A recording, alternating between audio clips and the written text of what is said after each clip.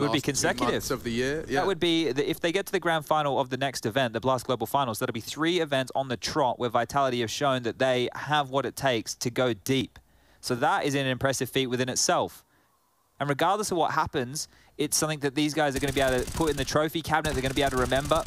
yeah. Taking care of business, it's not always easy done, but Apex makes it look very easy there. Four quick ones, and just happens to find who's, oh, lumbering now over towards the hut. He's been heard, and he's been dealt with. misutaa finishes that one off, and there's the corpses. Oh, he likes the eco bash. He's very happy with that. The Eco Cobra. Yeah, everybody likes those ones. Adding those stats to the tally. But this is it. NIP, can they put up a fight here? No Fozy AWP, and oh, actually against G2, his CT-sided AWP was getting a couple of multi-kills. So it is going to be a bigger mission going into the first gun round.